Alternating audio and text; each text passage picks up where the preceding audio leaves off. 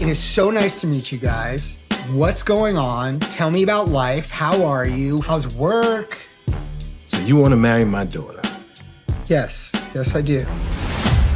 So do you hang out in the hood all the time, or do you just come up here for our food and women? It's a valid question. It is. What's the difference between me and you? If Amira and I had a baby, it would be a very nice baby. Mixed race people are really awesome. You know, you have like Mariah and Derek Jeter, and then of course you have the, the GOAT, The goat. the greatest of all time. Yeah, I know what it means, but who are you referring to? Uh, Our guy, the legend, Malcolm X.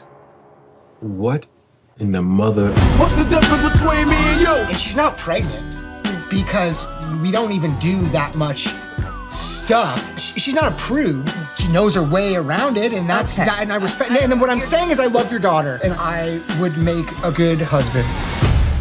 Ain't this about a bitch? Where's our waiter? I am starving. What's the difference between me and